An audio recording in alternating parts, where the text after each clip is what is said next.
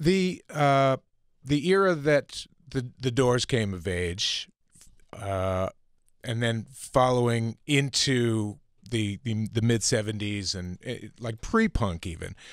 What um, I'm, I'm sure you've seen uh, some of the documentaries that have come out about that era. Uh, Right, you know, The, right. the Laurel Canyon documentary, Right. and there's been a, a couple. The David Crosby documentary. Right. What what um, did did they get it right? How do you how do you feel about well, those? they they were missing something. Uh, I Mhm. guess that the reason we weren't invited into the Echoes of the Canyon is uh, because uh, we were the dark underbelly of the '60s. Maybe we were the undeclared Vietnam War. You know, uh, the shadow side of it all. So. Um, you know, That's an interesting Da- way to look. David You were, you were the dark side. Yeah, The- David the, Byrds Cros- were the bright side. yeah, Crosby can call Jim a dork, but um, uh, I'm the drummer in the Dorks. he, he um, I think he said that in his documentary because he went into the Whisky and he was a little loaded and he had dark glasses on and apparently Jim ripped his glasses off and said, "You can't hide here."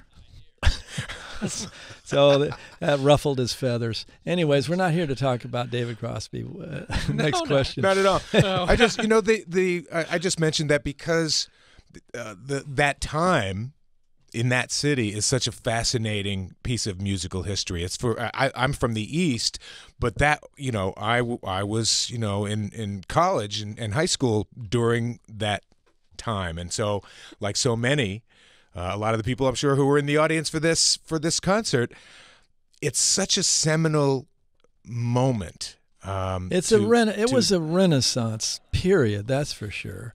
What what uh, pisses me off is that folks who disc uh, d- diss the '60s, Yeah. you know, as failed, and really what's going on is that the seeds of civil rights, peace movement, feminism were all planted, and these are giant seeds. Maybe they take a hundred years for full fruition. So stop criticizing and get out your watering can.